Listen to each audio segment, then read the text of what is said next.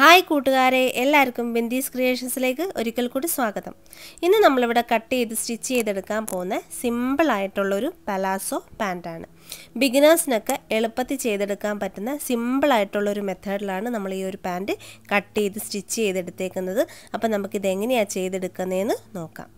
ഒരു palazzo pant stitch ചെയ്യാൻ വേണ്ടിയിട്ട് നമുക്ക് മെയിൻലി മൂന്ന് മെഷർമെന്റ്സ് ആണ് വേണ്ടത്. Full length hip round crotch length full length എന്ന് പറഞ്ഞാൽ നമ്മൾ ഏത് ഭാഗത്താണോ പാൻസ് കിട്ടുന്നത് ആ ഭാഗം മുതൽ താഴെ എൻഡ് വരെയുള്ള ലെങ്ത്ത് എത്രമാത്രം പാൻസിന് നീളം വേണോ അത്രമാത്രം അളന്നെടുക്കുക. അപ്പോൾ ഞാൻ ഇവിടെ എടുക്കുന്നത് തേർട്ടി എയ്റ്റ് ഇഞ്ചസ് ആണ്. അടുത്തതായിട്ട് വേണ്ടത് ഹിപ്പ് റൗണ്ടാണ് നമ്മൾ പാൻസ് കെട്ടുന്ന ഭാഗത്തിന് ചുറ്റിനുമുള്ള അളവ് മെഷർ ചെയ്തെടുക്കുക. ആ അളവ് ഇവിടെ കിട്ടിയിരിക്കുന്നത് തേർട്ടി എയ്റ്റ് ഇഞ്ചസ് ആണ്. പക്ഷെ നമ്മൾ ഈ തേർട്ടി എയ്റ്റ് ഇഞ്ചസ് ഇട്ട് കറക്റ്റ് മെഷർ ചെയ്ത് കട്ട് ചെയ്തെടുത്ത് കഴിഞ്ഞാൽ നമുക്ക് പാൻസ് താഴെ നിന്ന് മുകളിലോട്ട് ഇടാൻ പറ്റില്ല.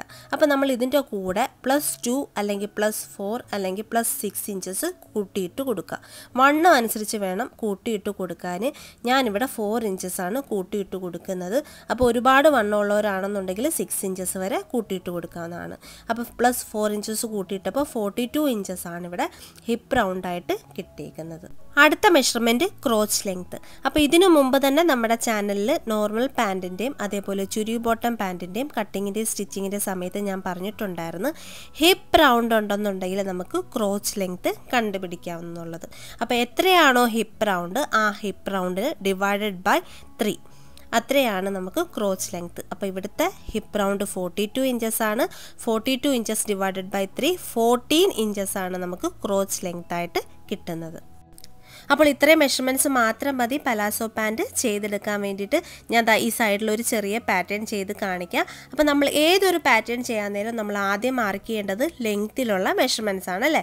അപ്പോൾ ആദ്യത്തത് ഫുൾ ലെങ്ത്തും രണ്ടാമത്തത് ക്രോച്ച് ലെങ്ത്തുമാണ് അപ്പോൾ ദാ ഈ സൈഡിൽ നമുക്ക് മാർക്ക് ചെയ്ത് എടുക്കാം. അപ്പോൾ ദാ ഒരു ലൈൻ വരച്ചിട്ടുണ്ട്. സീറോ ടു വൺ എന്ന് കൊടുക്കാം. അപ്പോൾ സീറോ ടു വൺ എന്ന് പറയുന്നത് full length plus four inch ഈ ഫോർ ഇഞ്ചസിൽ ടു ഇഞ്ച് നമുക്ക് മുകൾ വശത്ത് ഇലാസ്റ്റിക് വെക്കാൻ വേണ്ടിയിട്ടും ടു ഇഞ്ച് നമുക്ക് താഴെ മടക്കി അടിക്കാൻ വേണ്ടിയിട്ടുമാണ്.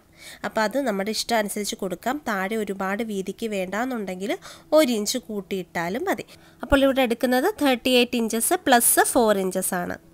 അടുത്ത ലെങ്ത്തിലുള്ള മെഷർമെന്റ് ക്രോസ് ലെങ്ത് ആണ്. അപ്പോൾ സീറോയിൽ നിന്ന് താഴോട്ട് ഒരു പോയിന്റ് എടുത്ത് മാർക്ക് ചെയ്യാം. ടു എന്ന് കൊടുക്കാം. അപ്പോൾ സീറോ ടു ടു എന്ന് പറയുന്നത് ക്രോച്ച് ലെങ്ത് ആണ്. ക്രോച്ച് ലെങ്ത് നമ്മൾ കണ്ടുപിടിച്ചത് hip round divided by three ആണ്. അപ്പോൾ zero two two crotch length അങ്ങനെ നമ്മുടെ ലെങ്തിലുള്ള രണ്ട് മെഷർമെന്റ്സ് നമ്മൾ മാർക്ക് ചെയ്ത് കഴിഞ്ഞു. ഇനി ക്രോസിലുള്ള മെഷർമെന്റ്സ് ആണ് മാർക്ക് ചെയ്യേണ്ടത്. അപ്പോൾ സീറോയിൽ നിന്ന് റൈറ്റിലോട്ട് ഒരു ലൈൻ വരച്ചു. ആ ലൈന് ത്രീ എന്ന് പോയിന്റ് കൊടുത്തു. അപ്പോൾ സീറോ ടു ത്രീ എന്ന് പറയുന്നത് ഹിപ്പ് റൗണ്ട് എത്രയാണോ അതേ divided by four hip round divided by ആണ് സീറോ ടു ത്രീ ആയിട്ട് മാർക്ക് ചെയ്യേണ്ടത്. എന്നിട്ട് സീറോ ടു ത്രീ എത്രയാണോ കിട്ടിയ അത്രയും തന്നെ ടൂയിൽ നിന്ന് നമ്മൾ റൈറ്റിലോട്ട് മാർക്ക് ചെയ്തെടുക്കും. അപ്പോൾ ടു ടു ഫോറും സീറോ ടു ത്രീയും സെയിം തന്നെയാണ്. ഞാനിവിടെ എഴുതിയപ്പോൾ ഒന്ന് മാറിപ്പോയേ. ടു ടു ആണ് സീറോ ടു ഫോർ അല്ല. എന്നിട്ട് ഇതാ ത്രീയും ഫോറും കൂടി അങ്ങ് ജോയിൻ ചെയ്തെടുത്തു. ഇനി ഇതാ ഫോറിൽ നിന്ന് നമുക്ക് റൈറ്റിലോട്ട് ക്രോച്ച് വരയ്ക്കാൻ വേണ്ടിയിട്ട് ഒരു മെഷർമെന്റ് എടുക്കണം. അത് വൺ പോയിന്റ് ഫൈവ് ഇഞ്ചസ് മുതൽ ടു പോയിന്റ് ഫൈവ് ഇഞ്ചസ് വരെ എടുക്കാം. അപ്പോൾ വണ്ണം കൂടും തോറും കൂട്ടിയെടുത്താൽ മതി. മാക്സിമം ഒരു ത്രീ ഇഞ്ചസ് വരെ എടുത്താൽ മതിയാവും. അപ്പോൾ ഞാനിവിടെ എടുക്കുന്നത് ടു ഇഞ്ചസ് ആണ്. ഒരുപാട് വണ്ണം ഉണ്ടെന്നുണ്ടെങ്കിൽ മാത്രം ത്രീ ഇഞ്ചസ് എടുത്താൽ മതിയേ. അല്ലെങ്കിൽ ടു പോയിന്റ് ഫൈവോ ടു ഇഞ്ചസോ എടുത്താൽ മതി. എടുത്താൽ ഈ ത്രീയും ഫൈവും കൂടി നമ്മൾ ക്രോച്ച് വരയ്ക്കുന്ന കണക്ക് ഷേപ്പ് ചെയ്യുക അപ്പോൾ ആ കാര്യങ്ങളൊക്കെ ഞാൻ തുണി കട്ട് ചെയ്യാൻ നേരം പറഞ്ഞുതരാവേ. ഇനി ടു ടു ഫൈവിന്റെ മെഷർമെന്റ് എത്രയാണോ അത്രയും തന്നെ താഴെ മാർക്ക് ചെയ്തെടുക്കാം. അതിന് വേണ്ടിയിട്ട് ഇതാ ഫൈവിൽ നിന്ന് നേരെ താഴോട്ട് ഒരു ലൈൻ വരച്ചിട്ട് വണ്ണിൽ നിന്ന് റൈറ്റിലോട്ട് ഒരു ലൈൻ വരച്ച് അതങ്ങ് ജോയിൻ ചെയ്യാം. ആ പോയിന്റിന് നമുക്ക് സിക്സ് എന്ന് കൊടുക്കാം. അപ്പോൾ ടു ടു ഫൈവും വൺ ടു സിക്സും സെയിം തന്നെയാണ്. മുകളിൽ രണ്ടിഞ്ച് നമ്മൾ ഇലാസ്റ്റിക്കിന് വേണ്ടിയിട്ട് താഴെ രണ്ടിഞ്ച് നമ്മൾ മടക്കി അടിക്കാനും വേണ്ടിയിട്ടുമായിരുന്നു ലെങ്ത്തിലെടുത്തത്. അപ്പോൾ ഇത്രയും തന്നെ മതിയാവും നമുക്ക് ഒരു പലാസോ പാന്റിന് വേണ്ടിയിട്ട്. പക്ഷെ നമുക്ക് കുറച്ചുകൂടി ഫ്ലെയർ വേണമെന്നുണ്ടെങ്കിൽ ഇതാ സിക്സിൽ നിന്ന് റൈറ്റിലോട്ട് നമുക്ക് അഞ്ച് ഇഞ്ച് വരെ എടുക്കാം. രണ്ടിഞ്ചോ മൂന്നിഞ്ചോ നാലിഞ്ചോ അഞ്ചിഞ്ചോ അതൊക്കെ നമ്മുടെ ഇഷ്ടം അനുസരിച്ച് ഫ്ലെയർ കൂട്ടിയെടുക്കാം. അപ്പോൾ ഒരുപാട് ഫ്ലെയർ എടുക്കാണ്ടിരിക്കുന്നതായിരിക്കും നല്ലത്. മാക്സിമം ഒരു രണ്ടോ മൂന്നോ ഇഞ്ച് മാർക്ക് ചെയ്ത് എടുത്താൽ മതി. എന്നിട്ട് ആ പോയിന്റ് അങ്ങ് മുകളിൽ ക്രോച്ചുമായിട്ട് അങ്ങ് ജോയിൻ ചെയ്യാം. അപ്പോൾ ഇത്രയാണോ പലാസോയ്ക്ക് വേണ്ടിയിട്ട് വേണ്ടത്. ഇനി നോർമൽ പാന്റ് ആണെങ്കിൽ നമ്മുടെ ഈ നൈറ്റ് ഡ്രസ്സിന്റെ ഒക്കെ കൂട്ടുള്ള ഇല്ലേ അതിന് വേണ്ടിയിട്ടാണെങ്കിൽ താഴെ വീതി കുറച്ചെടുത്തിട്ട് ആ ഒരു പോയിന്റ് ക്രോച്ചുമായിട്ട് അങ്ങ് ജോയിൻ ചെയ്തെടുത്തിട്ട് സീം അലവൻസ് ഇട്ട് കട്ട് ചെയ്തെടുത്താൽ മതി. അപ്പോൾ ഇതിന് പലാസോയ്ക്ക് വേണ്ടിയിട്ട് നമ്മൾ സൈഡിൽ ഒരു ഇഞ്ച് സീം അലവൻസ് ഇട്ട് കൊടുക്കുന്നുണ്ട്. ക്രോച്ചിന്റെ ഭാഗത്ത് തുണി അനുസരിച്ച് അളന്നെടുക്കുക. അര ഇഞ്ചോ അല്ലെങ്കിൽ ഒരു ഇഞ്ച് അപ്പോൾ അര ഇഞ്ചോ ഒരു ഇഞ്ചോ ആ ഒരു ക്രോച്ചിന്റെ ഭാഗത്തും സൈഡിൽ ഒരു ഇഞ്ച് വീതി. അപ്പോൾ താഴത്തെ വീതി നമ്മുടെ ഇഷ്ടം അനുസരിച്ച് മാറ്റിയെടുക്കാം സെയിം മെഷർമെന്റ് തന്നെ എടുത്താൽ മതി. അല്ലെങ്കിൽ ഒരു ടു ഇഞ്ചോ ത്രീ ഇഞ്ചോ എക്സ്ട്രാ എടുത്താലും മതി. അപ്പോൾ നമ്മൾ ഈ ഒരു പാറ്റേണിൽ നിന്ന് രണ്ട് പാന്റ് ചെയ്തെടുക്കാം അല്ലേ? ഒന്ന് നമ്മുടെ നൈറ്റ് ഡ്രസ്സിന്റെ പാൻസും ഒന്ന് നമ്മുടെ പലാസോ പാന്റും ഇനി നമുക്കിത് തുണിയിൽ കട്ട് ചെയ്ത് എടുക്കാം. അപ്പോൾ പലാസോ പാന്റ് സ്റ്റിച്ച് ചെയ്യാൻ വേണ്ടിയിട്ട് ഫോർട്ടി സെവൻ ഇഞ്ച് വിടുത്തുള്ള ടു മീറ്റർ ഫാബ്രിക് ആണ് എടുത്തേക്കുന്നത്. പ്രിന്റഡ് ടൈപ്പ് മെറ്റീരിയൽ ആണ് എടുത്തേക്കുന്നത്. അപ്പോൾ കൂടുതലായിട്ട് നമ്മൾ ഈ ഒരു പലാസോ പാന്റ് യൂസ് ചെയ്യുന്നത് നല്ല ചൂടുള്ള കാലാവസ്ഥയിലാണ്. അപ്പോൾ മാക്സിമം കോട്ടന്റെ ഫാബ്രിക് തന്നെ എടുക്കാൻ ശ്രദ്ധിക്കുക. ഞാനിവിടെ എടുത്തേക്കുന്നത് പ്യുവർ കോട്ടൺ അല്ല. കുറച്ച് മിക്സ് ആയിട്ടുള്ള കോട്ടൺ ആണ്. മാക്സിമം കോട്ടൺ ഫാബ്രിക് തന്നെ എടുക്കാൻ ശ്രദ്ധിക്കുക. പിന്നെ വേണ്ടത് വേസ്റ്റ് ബാൻഡിന് വേണ്ടിയിട്ടുള്ള ഇലാസ്റ്റിക്കാണ് ഒരു ഇഞ്ച് വീതിയുള്ള ഇലാസ്റ്റിക്കാണ് ഞാനിവിടെ യൂസ് ചെയ്യുന്നത്. അപ്പോൾ ഞാൻ എന്താ ഫാബ്രിക് ഇതേപോലെ നിവർത്തിയിട്ടിട്ടുണ്ട്. അപ്പോൾ ആദ്യം ഞാൻ പേപ്പറിലൊന്ന് കാണിച്ചു തരാവേ. അപ്പോൾ ഫോർട്ടി സെവൻ ഇഞ്ച് വിടുത്തുള്ള ടു മീറ്റർ ഫാബ്രിക്കാണ് എടുത്തേക്കുന്നത്. ആദ്യം തന്നെ ആ ഫാബ്രിക്കിനെ രണ്ടായിട്ട് മടക്കുക. അതായത് സെൽവഡ്ജുകൾ തമ്മിൽ ഒരുമിച്ച് വരുന്ന രീതിയിൽ നമുക്ക് ദാ ഇതേപോലെ രണ്ടായിട്ടൊക്കെ മടക്കി കൊടുക്കുക. വീതിയുള്ള ഫാബ്രിക് എടുക്കാൻ ശ്രദ്ധിക്കുക. എന്നിട്ട് ദാ ഇട നിന്ന് വലത്തോട്ട് മടക്കുക. കണ്ടോ? കറക്റ്റായിട്ട് മടക്കി ദാ ഇട നിന്ന് വലത്തോട്ട്. ഒരു ഭാഗം അടുത്ത ഭാഗം കൊണ്ട് രണ്ട് ലെഗ് പാർട്ട് നമുക്കിതിൽ നിന്ന് കിട്ടും. ഫോൾഡ് വശം നമ്മുടെ വശത്തോട്ടാണ് ദാ ഈ ഭാഗത്ത് നാലും ഓപ്പൺ ആണ് അതേപോലെ നമ്മുടെ ഇടത് വശത്ത് ക്ലോസ് ആയിട്ടിരിക്കുവാണ്. താഴ്വശത്തും ഓപ്പൺ ആണ് ഇതേപോലെ തന്നെയാണ് ഫാബ്രിക് ഇട്ടേക്കുന്നത്. അപ്പോൾ എന്താ കണ്ടോ ദാ ഈ വശത്ത് രണ്ടും ഫോൾഡാണ്. നമ്മുടെ വശത്തോട്ട് വരുന്നത് ഫോൾഡാണ്. മുകൾ വശത്തും ഫോൾഡാണ്. താഴ്വശത്ത് ദാ ഓപ്പൺ ആണ് നാല് ഓപ്പൺ ഉണ്ട് അതേപോലെ ദാ ഈ സൈഡിലും നാല് ഓപ്പൺ ആയിട്ട് ഇട്ടിട്ടുണ്ട്. എന്നിട്ട് ഈ ഫാബ്രിക്കിനെ ഒന്ന് കറക്റ്റായിട്ട് പിൻ ചെയ്തെടുക്കാം. ഇനി നമുക്ക് മെഷർമെന്റ്സ് ഒക്കെ മാർക്ക് ചെയ്തെടുക്കാം. ആദ്യം നമുക്ക് ലെങ്ത് ആണ് മാർക്ക് ചെയ്യേണ്ടത്. ഇവിടെ വേണ്ട ലെങ്ത് തേർട്ടി എയ്റ്റ് ഇഞ്ചസ് ആണ്. അതിന്റെ കൂടെ ഫോർ ഇഞ്ചും കൂടി ആഡ് ചെയ്തെടുക്കുക. അത് ഈ മടക്ക് ഭാഗത്ത് നിന്ന് നേരെ താഴോട്ടാണ് മാർക്ക് ചെയ്യേണ്ടത്. അപ്പോൾ ഇവിടെ എടുത്തേക്കുന്ന ഫോർ ഇഞ്ചിൽ ടു ഇഞ്ച് വേസ്റ്റ് ബാൻഡിന്റെ ഭാഗത്തേക്കും ടു ഇഞ്ച് താഴെ മടക്കി അടിക്കാൻ വേണ്ടിയിട്ടാണ്. അപ്പോൾ ദാ നമ്മുടെ ഇടതുവശത്തുള്ള ഫോൾഡിന്റെ ഭാഗത്തുനിന്ന് നേരെ താഴോട്ട് ടേപ്പ് വെച്ച് അളന്നെടുക്കുക. അപ്പോൾ അതാ നോക്കിയേ ഈ ഫാബ്രിക്കിന്റെ ഫുൾ ലെങ്ത്തും എനിക്കിവിടെ ആവശ്യമുണ്ട്. അപ്പോൾ ടു മീറ്റർ ഫാബ്രിക്ക് കറക്റ്റ് എനിക്ക് വേണ്ടി വന്നു അല്ലേ? അപ്പം ഇതിൽ കൂടുതൽ ലെങ്ത്ത് വേണ്ടവരാണെന്നുണ്ടെങ്കിൽ അതനുസരിച്ച് തുണി മേടിക്കണം. അപ്പോൾ ടു പോയിന്റ് ടു ഫൈവ് മീറ്ററോ ടു പോയിന്റ് ഫൈവ് മീറ്റർ ഫാബ്രിക്കൊക്കെ ലെങ്ത്ത് കൂടുന്തോറും നമ്മൾ മേടിക്കേണ്ടി വരും. അപ്പോൾ അതൊക്കെ നമ്മുടെ ലെങ്ത്ത് അനുസരിച്ച് മെഷർ ചെയ്ത് മേടിക്കുക അപ്പോൾ ഫോർട്ടി ടു ഇഞ്ചസും കറക്റ്റായിട്ട് തന്നെ എനിക്ക് വേണ്ടി വന്നിട്ടുണ്ട്. അപ്പോൾ മുകളിൽ നിന്ന് താഴോട്ട് ഫോർട്ടി ടു ഇഞ്ചസ് എടുത്ത് ലെങ്ത്ത് മാർക്ക് ചെയ്തെടുക്കാം. ഇനി എന്താ മുകൾ ഭാഗത്ത് മെഷർ ചെയ്യേണ്ട മെഷർമെന്റ്സ് ഒക്കെ മാർക്ക് ചെയ്തെടുക്കാം. ദാ ആദ്യം തന്നെ നമ്മൾക്ക് ആ വേസ്റ്റ് ബാൻഡിന്റെ മെഷർമെന്റ് ഒന്ന് മാർക്ക് ചെയ്യാം. അപ്പോൾ ഞാനിവിടെ two point two five inches എടുക്കുന്നുണ്ട്. കാരണം ഞാനിവിടെ എടുത്ത ഇലാസ്റ്റിക് വൺ ഇഞ്ച് ആയത് കാരണം ഒരു കാലിഞ്ചും കൂടി മടക്കി സ്റ്റിച്ച് ചെയ്യാൻ വേണ്ടിയിട്ട് വേണം. അതുകൊണ്ട് two point two five inches എടുത്തിട്ടുണ്ട്. ആ മെഷർമെന്റൊക്കെ നമ്മുടെ ഇലാസ്റ്റിക്കിന്റെ വീതി അനുസരിച്ച് മാറ്റിയെടുക്കേണ്ടതാണ്. ഇനി നമുക്ക് മാർക്ക് ചെയ്യേണ്ടത് ഹിപ്പ് റൗണ്ട് ആണ്. ഇവിടുത്തെ hip round forty two inches ആണ്. അതേ ഡിവൈഡഡ് ബൈ ഫോർ എടുത്തപ്പോൾ ടെൻ പോയിന്റ് ഫൈവ് ഇഞ്ചസ് ആണ് കിട്ടിയത്. അത് ഇതേപോലെ കറക്റ്റായിട്ട് ആ ലൈനിലങ്ങ് മാർക്ക് ചെയ്തെടുക്കാം.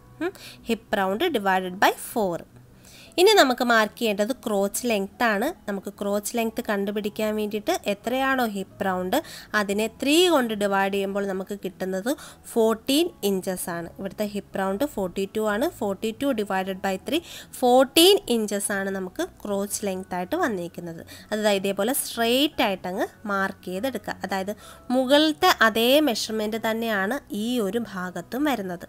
ടെൻ പോയിന്റ് ഫൈവ് ഇഞ്ചസ് തന്നെയാണ് ആ ഭാഗത്തും വരുന്നത്. വരേണ്ടത് ഇനി ഇതാ ഈ പോയിന്റിൽ നിന്ന് റൈറ്റിലോട്ട് നമുക്ക് ക്രോച്ച് വരയ്ക്കാൻ വേണ്ടിയിട്ട് ഒരു ടു ഇഞ്ചസ് എടുത്ത് മാർക്ക് ചെയ്യണം. അപ്പോൾ വണ്ണം കൂടുന്തോറും ആ അളവ് മാറ്റിയെടുക്കുക. മാക്സിമം ഒരു ത്രീ ഇഞ്ചസ് വരെ മാർക്ക് ചെയ്തെടുത്താൽ മതി. അപ്പം ഞാനിവിടെ എടുത്തേക്കുന്നത് ടു ഇഞ്ചസ് ആണ്. എന്നിട്ട് ഇതാ ഇതങ്ങ് ക്രോച്ച് പോലെ വരയ്ക്കണം. അതിന് വേണ്ടിയിട്ട് ഇതാ ഈ പോയിന്റിൽ നിന്ന് ഒരു വൺ പോയിന്റ് ഫൈവ് ഇഞ്ചസ് എടുത്ത് മാർക്ക് ചെയ്യുക. എന്നിട്ട് ഇതാ ഇതേപോലെ ഫ്രഞ്ച് കർവ് യൂസ് ചെയ്തിട്ട് ഇതൊന്ന് കർവ് ചെയ്തെടുക്കുക. ഒരുപാട് ഉള്ളിലോട്ട് എടുത്ത് കർവ് ചെയ്യരുത്. അങ്ങനെ ആകുമ്പോൾ ക്രോച്ചിന്റെ ഭാഗത്ത് പിടുത്തം വരുവേ. അപ്പോൾ അതാ ഇനി ഇതാ ഈ ക്രോച്ചിന്റെ ഭാഗത്ത് ഈ ഒരു വണ്ണം ഒന്ന് മെഷർ ചെയ്ത് നോക്കുക. അപ്പോൾ അതാ നോക്കിയ ട്വൽവ് പോയിന്റ് ഫൈവ് ഇഞ്ചസ് ആണ് ഇവിടെ കിട്ടിയേക്കുന്നത് അതേ വിടുത്ത് തന്നെ നമ്മൾ നേരെ താഴെയും മെഷർ ചെയ്തെടുക്കുക. ഉം. ഇത് കറക്റ്റായിട്ട് തന്നെ സ്ട്രെയിറ്റ് ആയിട്ട് അങ്ങ് മാർക്ക് ചെയ്തെടുക്കുക. അതായത് ഇവിടുത്തെ വണ്ണം തന്നെ ക്രോച്ചിന്റെ ഭാഗത്തെ വണ്ണം തന്നെ നേരെ താഴെ അങ്ങ് മാർക്ക് ചെയ്യുക. അപ്പോൾ ട്വൽവ് പോയിന്റ് ഫൈവ് ഇഞ്ചസ് ആണ് കിട്ടിയത്. അത് നമ്മളിതാ ഇതേപോലെ മാർക്ക് ചെയ്തിട്ട് ദാ ഒരു സ്കെയിൽ യൂസ് ചെയ്ത് ഈ ക്രോച്ചിന്റെ ആ ലൈനും താഴെ മാർക്ക് ചെയ്ത ലൈനും കൂടി അങ്ങ് സ്ട്രെയിറ്റ് ആയിട്ട് എടുക്കുക. അപ്പോൾ ഇത്രയും തന്നെ വെച്ച് നമുക്ക് പലാസോ പാന്റ് കട്ട് ചെയ്തെടുക്കാം. ഒരു ഇഞ്ച് തയ്യൽ തുമ്പിട്ട് കൊടുത്താൽ മതി ക്രോച്ചിന്റെ ഭാഗത്ത് സൈഡിൽ ഇനി കുറച്ചുകൂടി ഫ്ലെയർ വേണമെന്നുണ്ടെങ്കിൽ ഇതാ ഈ പോയിന്റിൽ നിന്ന് റൈറ്റിലോട്ട് ഒരു ത്രീ ഇഞ്ച് എടുത്ത് മാർക്ക് ചെയ്യുന്നുണ്ട് മാക്സിമം ഒരു ടു ഇഞ്ചൊക്കെ മതി കേട്ടോ. ഞാൻ സ്റ്റിച്ച് ചെയ്ത് കഴിഞ്ഞപ്പോൾ ഒരുപാട് ഫ്ലെയർ കണക്ക് എനിക്ക് തോന്നി. ഒരു ടു ഇഞ്ചൊക്കെ എടുത്താൽ മതിയാവും. ഇനി ഒരുപാട് ഫ്ലെയർ വേണ്ടാന്നുണ്ടെങ്കിൽ ആ മുകളിലത്തെ അതേ മെഷർമെന്റ് തന്നെ മാർക്ക് ചെയ്തെടുക്കാവുന്നതാണ്. എന്നിട്ട് സൈഡിൽ ഒരു ഇഞ്ച് സീം എലവൻസ് ക്രോച്ചിന്റെ ഭാഗത്ത് അര ഇഞ്ച് മുതൽ ഒരു ഇഞ്ച് വരെ ഇട്ട് കൊടുക്കുക. ഞാനിവിടെ ഒരു ഇഞ്ച് ഇട്ട് കൊടുക്കുന്നുണ്ട്. കാരണം ഇത് ഈ ഒരു തുണി കുറച്ച് നൂൽ ഇഴ വിട്ടു പോകുന്ന തുണി ആയത് കൊണ്ടാണ് ഒരു ഇഞ്ച് ഇട്ട് കൊടുത്തത്. എന്നിട്ട് സീം അലവൻസ് മാർക്ക് ചെയ്ത അതേ ഭാഗത്തോടങ്ങ് നമ്മൾ കറക്റ്റായിട്ടങ്ങ് കട്ട് ചെയ്ത് എടുക്കുക. എന്നിട്ട് മുകൾ വശത്തും കൂടി അങ്ങ് ഓപ്പൺ ആക്കി എടുക്കുക. അപ്പോൾ ഇത്രയേ ഉള്ളൂ കട്ടിങ് വളരെ എളുപ്പമാണ്. അപ്പോൾ അതാ കട്ട് ചെയ്ത് എടുത്തു. ഇനി നമുക്കിത് സ്റ്റിച്ച് ചെയ്ത് തുടങ്ങാം. അപ്പോൾ സ്റ്റിച്ച് ചെയ്യാൻ വേണ്ടിയിട്ട് ആദ്യം തന്നെ ദാ ഒരു പാർട്ട് എടുത്ത് ഇതേപോലെ നിവർത്തിയിടാം. ക്രോച്ച് രണ്ട് സൈഡിലായിട്ടാണ് വന്നേക്കുന്നത്. നല്ല വശം മുകളിലോട്ട് ഫേസ് ചെയ്ത് വയ്ക്കുക. അതിന്റെ മുകളിലോട്ട് അടുത്ത ഭാഗത്തിന്റെ നല്ല വശം ചേർത്ത് വയ്ക്കുക. അതായത് നല്ല വശവും നല്ല വശവും കൂടി ചേർത്ത് വെച്ചിട്ട് ക്രോച്ചിന്റെ ഭാഗത്ത് ഒരു ഇഞ്ച് വീതിക്ക് രണ്ട് വെട്ടം സ്റ്റിച്ച് ചെയ്യുക. അത് കഴിഞ്ഞിട്ട് ദാ താഴ്വശത്ത് രണ്ട് മടക്കം മടക്കി രണ്ട് സൈഡിലും സ്റ്റിച്ച് ചെയ്ത് എടുക്കുക. അപ്പം നല്ല വശവും നല്ല വശവും കൂടി ചേർത്ത് വെച്ചിട്ട് ക്രോച്ചിന്റെ ഭാഗത്ത് എത്രയാണോ സീം അലവൻസ് വിട്ടേക്കുന്നത് അത്രയും തന്നെ സ്റ്റിച്ച് ചെയ്തെടുക്കാം. ഞാനിവിടെ ഒരു ഇഞ്ചാണ് ഇട്ടേക്കുന്നത്. അര ഇഞ്ചാണ് എടുക്കുന്നതെങ്കിൽ അര ഇഞ്ച് സ്റ്റിച്ച് ചെയ്തെടുത്താലും മതി. അപ്പം ഇതാ ഈ നൂലൊന്ന് ഇതുപോലെ ഇഴ വിട്ട് പോകുന്നത് കൊണ്ടാണ് ഞാൻ ഒരു ഇഞ്ച് എടുത്തത്. അല്ലെങ്കിൽ അര ഇഞ്ച് സീം അലവൻസ് ഇട്ടാലും മതിയേ. അപ്പോൾ രണ്ട് വെട്ടം തന്നെ ഒരുമിച്ച് പിടിച്ച് വെച്ച് സ്റ്റിച്ച് ചെയ്തെടുക്കാം. ഇപ്പോൾ പ്രിന്റഡ് ഫാബ്രിക് ഒക്കെ ആകുമ്പോൾ പ്രത്യേകം ശ്രദ്ധിക്കുക. നല്ല വശവും നല്ല വശവും ചേർത്ത് വയ്ക്കുമ്പോൾ കറക്റ്റ് ആണോ എന്ന് നോക്കുക. അല്ലാന്നുണ്ടെങ്കിൽ ചിലപ്പോൾ തിരിഞ്ഞു പോയി കഴിഞ്ഞാൽ പിന്നെ നമ്മൾ വീണ്ടും ഇത് അഴിച്ചെടുക്കേണ്ടി വരുമേ അപ്പം നല്ല വശങ്ങൾ തമ്മിൽ ചേർത്ത് വെച്ചിട്ട് ക്രോച്ചിന്റെ ഭാഗത്ത് ഒരു ഇഞ്ച് വീതിക്ക് രണ്ട് വെട്ടം സ്റ്റിച്ച് ചെയ്ത് എടുക്കുക. രണ്ട് ക്രോച്ചിന്റെ സൈഡും ഇതേപോലെ തന്നെ സ്റ്റിച്ച് ചെയ്തെടുക്കുക. എന്നിട്ട് ഞാൻ ദാ ഇതേപോലെ ഒന്ന് ലോക്കും കൂടി ചെയ്തെടുക്കുന്നുണ്ട്. ആ നൂലൊന്ന് വിട്ട് പോകാണ്ടിരിക്കാൻ വേണ്ടിയിട്ടൊന്ന് ലോക്ക് ചെയ്യുന്നുള്ള നിർബന്ധമൊന്നുമില്ല. ഇതാ ഇതേപോലെ ലോക്ക് ചെയ്തു സ്റ്റിച്ച് ചെയ്ത് എടുത്തിട്ടുണ്ട്. ഇനി നമുക്ക് ആ ലെഗ് പാർട്ടിന്റെ താഴ്വശത്ത് ഒരു ഇഞ്ചും ഒരു ഇഞ്ചും മടക്കി സ്റ്റിച്ച് ചെയ്യാം. ദാ നല്ല വശത്തുനിന്ന് ചീത്ത വശത്തോട്ട് ഇതുപോലെ രണ്ട് വെട്ടം മടക്കിയിട്ട് എഡ്ജ് കോഡ് ആദ്യം ഒന്ന് സ്റ്റിച്ച് ചെയ്തെടുക്കാം. ഇനി താഴ്വശത്ത് ഇത്രയും വീതിക്ക് സ്റ്റിച്ച് വേണ്ടാന്നുണ്ടെങ്കിൽ നമ്മൾ ലെങ്ത്തിന്റെ കൂടെ പ്ലസ് ത്രീ ഇഞ്ച് ഇട്ട് കൊടുത്താൽ മതി. മുകൾ വശത്തേക്ക് രണ്ട് ഇഞ്ചും താഴ്വശത്തേക്ക് ഒരു ഇഞ്ചും അപ്പോൾ അതാ ഇതേപോലെ ഒരു ഇഞ്ചും ഇഞ്ചും മടക്കി സ്റ്റിച്ച് ചെയ്തു. എന്നിട്ട് ഇതാ ഇത് അരികിക്കൂടെയും കൂടി ഒന്ന് സ്റ്റിച്ച് ചെയ്തെടുത്താലും നല്ലതായിരിക്കും. അപ്പോൾ ഇതാ എഡ്ജിക്കൂടെയും കൂടി ഒന്ന് സ്റ്റിച്ച് ചെയ്ത് എടുക്കുന്നുണ്ട്. അങ്ങനെ നമ്മൾ രണ്ട് സൈഡും സ്റ്റിച്ച് ചെയ്തെടുത്തിട്ടുണ്ട്. നല്ല വശങ്ങൾ തമ്മിൽ ചേർത്ത് വെച്ചിട്ട് ക്രോച്ചിന്റെ ഭാഗത്ത് ഒരു ഇഞ്ച് വീതിക്ക് രണ്ട് വെട്ട സ്റ്റിച്ച് ചെയ്തു. അതേപോലെ താഴ്വശത്ത് ഒരു ഇഞ്ചും ഒരു ഇഞ്ചും മടക്കിയിട്ട് രണ്ട് എൻഡിക്കോടെയും സ്റ്റിച്ച് ചെയ്തെടുത്തിട്ടുണ്ട്. ഇനി നമുക്ക് ലെഗ് പാർട്ട് തമ്മിൽ ജോയിൻ ചെയ്യണം. അതിന് വേണ്ടിയിട്ട് നോക്കിക്കോ.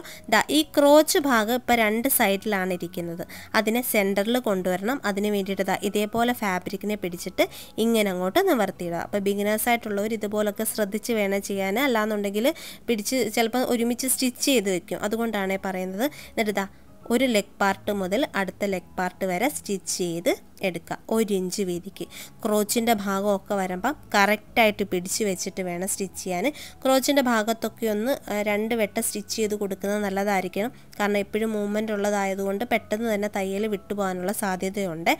അപ്പം കറക്റ്റായിട്ട് നല്ല വശവും നല്ല വശവും കൂടി ചേർത്ത് വെച്ചിട്ട് ഒരു ഇഞ്ച് വീതിക്ക് രണ്ട് വെട്ടം സ്റ്റിച്ച് ചെയ്ത് എടുക്കാം.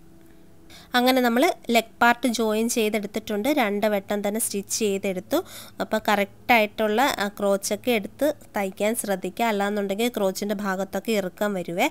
ഇനി നമുക്ക് വേസ്റ്റ് ബാൻഡ് സ്റ്റിച്ച് ചെയ്യാം. അതിന് വേണ്ടിയിട്ട് ഇതാ ആദ്യം തന്നെ ഒരു അര ഇഞ്ച് മടക്കുക. പിന്നെ ഒരു ഒന്നര ഇഞ്ചും കൂടി മടക്കി എടുത്തിട്ട് ചുറ്റിന് സ്റ്റിച്ച് ചെയ്യുക. സ്റ്റിച്ച് ചെയ്യാൻ നേരം കുറച്ച് ഒരു ഗ്യാപ്പ് ഇടണം. ഇലാസ്റ്റിക് ഇട്ട് കൊടുക്കാൻ വേണ്ടിയിട്ടാണ്. അപ്പം ആദ്യം അര ഇഞ്ച് മടക്കി പിന്നെ ഒരു ഒന്നര ഇഞ്ചും കൂടി മടക്കി എടുത്തിട്ടുണ്ട്. അപ്പോൾ മൊത്തം രണ്ട് ഇഞ്ച് മടക്കി എടുക്കണം. അപ്പം ഞാനിവിടെ എക്സ്ട്രാ ഒരു കാലിഞ്ച് കൂടി മടക്കിയിട്ടുണ്ട്. ഞാൻ ആദ്യമേ പറഞ്ഞിട്ടുണ്ടായിരുന്നല്ലോ ഇലാസ്റ്റിക്കിന്റെ വിട്ടനുസരിച്ച് മാറ്റിയെടുക്കണമെന്നുള്ളത് അപ്പോൾ അത് കറക്റ്റായിട്ട് മടക്കി സ്റ്റിച്ച് ചെയ്തെടുക്കാം. സ്റ്റിച്ച് ചെയ്ത് വരുമ്പോൾ ദാ കുറച്ച് ഭാഗം ഗ്യാപ്പ് ഇടണം. ഏകദേശം ഒരു ഒന്നൊന്നര ഇഞ്ചോളം ഇട്ടാൽ മതി. ആ ഭാഗത്തോടെ വേണം നമുക്ക് ഇലാസ്റ്റിക് ഇട്ട് കൊടുക്കാൻ. അപ്പോൾ അതാ ഇതേപോലെ ഗ്യാപ്പ് ഇട്ടിട്ട് സ്റ്റിച്ച് ചെയ്ത് എടുത്തിട്ടുണ്ട്. ഇനി ഇതിന് വേണ്ടിയിട്ടുള്ള ഇലാസ്റ്റിക്കിന്റെ ലെങ്ത് എത്രയാണ് എടുക്കേണ്ടതെന്ന് നോക്കാം. എത്രയാണോ നമുക്ക് ആ പാൻസ് കെട്ടുന്ന ഭാഗത്തിന് ചുറ്റിനുമുള്ള അളവ് മെഷർ ചെയ്തപ്പം കിട്ടിയത്. അതിൽ നിന്ന് ഒരു നാലിഞ്ചോ അഞ്ചിഞ്ചോ കുറച്ച് വേണം ഇലാസ്റ്റിക്കിന്റെ ലെങ്ത് എടുക്കാൻ. എന്നിട്ട് അതിന്റെ രണ്ട് എൻഡിലും ദാ ഇതേപോലെ പിന്നിട്ട് കൊടുത്തിട്ടുണ്ട്. ആ പിന്ന് വെച്ചിട്ട് ദാ ഇതേപോലെ ആ ഗ്യാപ്പിലൂടെ നമുക്ക് ആ ഒരു ഇലാസ്റ്റിക് ഇട്ടെടുക്കാം. ഇട്ട് കഴിഞ്ഞിട്ട് ആ ഇലാസ്റ്റിക്കിന്റെ രണ്ട് എൻഡും കൂടി പിടിച്ച് ദാ ഇതേപോലെ ഒന്ന് സ്റ്റിച്ച് ചെയ്തെടുക്കാം. രണ്ട് മൂന്ന് വട്ടം സ്റ്റിച്ച് ചെയ്ത് എടുക്കണേ എന്നിട്ട് ഇലാസ്റ്റിക് കറക്റ്റായിട്ട് ഉള്ളിലോട്ട് പിടിച്ചിട്ടിട്ട് ആ ഒരു ഗ്യാപ്പ് അങ്ങ് ക്ലോസ് ചെയ്തെടുക്കുക. അപ്പോൾ ഇലാസ്റ്റിക്കിന്റെ ലെങ്ത് ഒക്കെ അവരവരുടെ ഇഷ്ടം അനുസരിച്ച് എടുക്കാം ചിലർക്ക് ഒരുപാട് ടൈറ്റായിട്ടിരിക്കുന്നതായിരിക്കും ഇഷ്ടം. ചിലർക്ക് ഒരുപാട് ലൂസായിട്ടായിരിക്കുന്നതായിരിക്കും ഇഷ്ടം. അതൊക്കെ നമ്മൾ ഇഷ്ടം അനുസരിച്ച് മാറ്റിയെടുക്കുക. എന്നിട്ട് ഇലാസ്റ്റിക് കറക്റ്റായിട്ട് എല്ലാ ഭാഗത്തും പിടിച്ചിട്ടിട്ട് ഇലാസ്റ്റിക് മറിഞ്ഞു പോകാണ്ടിരിക്കാൻ വേണ്ടിയിട്ട് ആ ഇലാസ്റ്റിക്കിന്റെ മുകൾ വശത്തും കൂടി ഒന്ന് സ്റ്റിച്ച് ചെയ്തെടുക്കുക.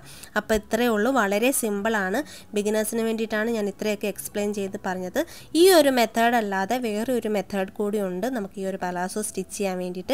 അപ്പോൾ ആ ഒരു രീതി കാണാൻ താല്പര്യം ഉണ്ടെന്നുണ്ടെങ്കിൽ ഒന്ന് കമന്റിൽ പറഞ്ഞാൽ മതി. ഞാൻ അതിന്റെയും കൂടി ഒരു വീഡിയോ അപ്ലോഡ് ചെയ്യാം. അപ്പോൾ ഇത് സിമ്പിളായിട്ടുള്ളൊരു മെത്തേഡാണ് അപ്പോൾ ഈ ഒരു വീഡിയോ ഇഷ്ടമായിട്ടുണ്ടെന്നുണ്ടെങ്കിൽ മറക്കാതെ ഒന്ന് ലൈക്ക് ചെയ്യാനും ഷെയർ ചെയ്യാനും കമന്റ് ചെയ്യാനും സബ്സ്ക്രൈബ് ചെയ്യാനൊന്നും മറക്കല്ലേ.